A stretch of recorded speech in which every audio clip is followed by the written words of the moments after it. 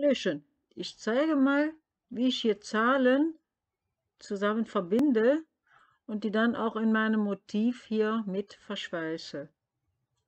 Also zuerst mal, ich hebe hier jetzt die Gruppierung auf. Das hier ist jetzt die Schrift Fugaswan. So, hier hebe ich jetzt erstmal die Gruppierung auf. Gruppierung aufheben. Ich schiebe jetzt eine Buchstabe, schiebe ich jetzt etwas näher hier ran, markiere alle und gehe hier hin, hier hin und hier, damit der Abstand gleich bleibt. Dass das also eben etwas näher zusammenkommt. Das kann ich jetzt wieder gruppieren und verschweißen, äh, äh, verknüpfen, Pfad erstellen. Aber die möchte ich ja verbinden. Jetzt ziehe ich hier ein Viereck. Mal schauen, wie groß das sein muss. Kann ich nach Wunsch. Und das dupliziere ich jetzt des Öfteren. Und noch mehr duplizieren. Und duplizieren. So, ich tue jetzt mal einfärben zum besseren Sehen. Mache ich jetzt mal in Rot. Und die Schrift mache ich in Schwarz. Achso, das war Linienfarbe. Schrift mache ich in Schwarz und das mache ich in Rot. So. Gehe ich hier und ich verbinde jetzt hier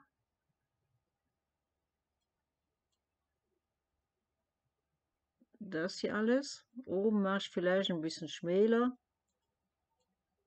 Aber das bleibt mir überlassen, wie ich das mache. So.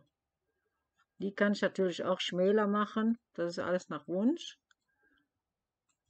Und verschweißen.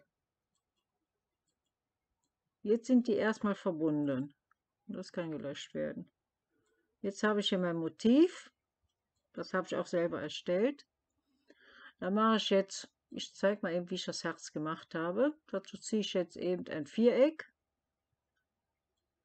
und einen Kreis mit gehaltener Großschreibtaste ist der Kreis gleich. Das setze ich jetzt hier mittig hier drauf. Das muss genauso groß sein, breit sein von der Breite wie das hier. Jetzt gehe ich hin und verschweiße das. Gehe ich einmal hin und hier eine Kopie drehen unten und rechts bündig. Es kommt immer darauf an, wenn mir das hier zu tief ist jetzt, dann müsste ich das hier ein kleines bisschen kürzer machen. So, mache ich das nochmal. So, unten und rechts bündig und verschweißen. Und 15 Grad drehen.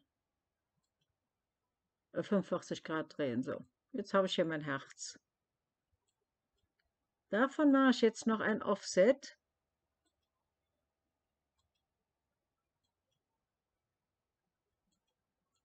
Offset. Jetzt kann ich hier gucken, wenn ich das hier unten nicht abgerundet haben möchte, kann ich das hier machen und hier die Punkte löschen. Da hätte ich das hier auch spitz. Jetzt erstelle ich hier einen verknüpften Pfad aus beiden.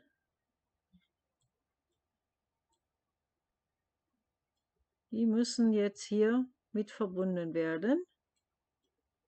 Ich ziehe es jetzt ein bisschen runter. Ich möchte das jetzt etwas länger machen, das Herz. Was passiert, wenn ich hier dran ziehe? Geht das im Ganzen länger. Weil das ist hier auch jetzt schräg, dadurch, dass ich das gedreht habe. Jetzt gehe ich einfach hin, ziehe hier einfach einen Strich, Kreise, was weiß ich, irgendwie ein Motiv und das gruppieren. Und jetzt kann ich das auch nach unten ziehen. Heb die Gruppierung wieder auf und weg damit. Jetzt gucke ich hier, dass das genau alles hier ist.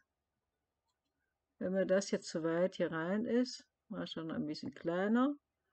Und hier oben kann ich dann auch noch ein Viereck ziehen.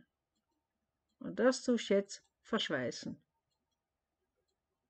Und somit hätte ich jetzt das Motiv fertig.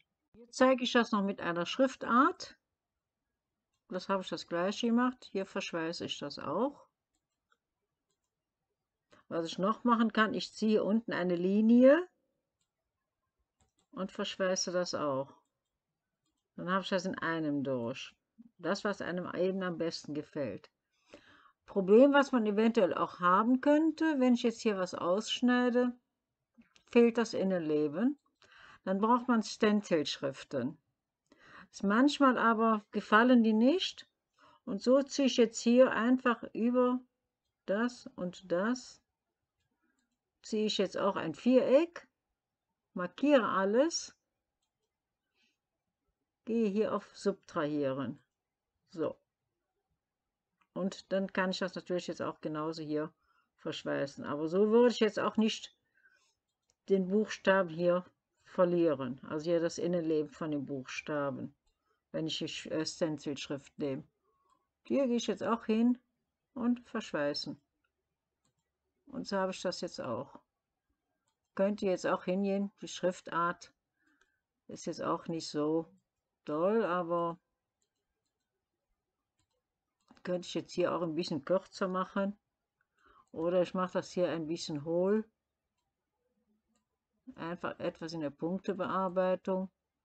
Könnte ich auch machen. Und wieder verschweißen. So kann man das machen.